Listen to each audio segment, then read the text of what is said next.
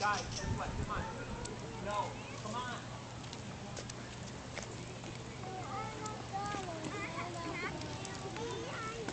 Yeah, you can hold on to it, man.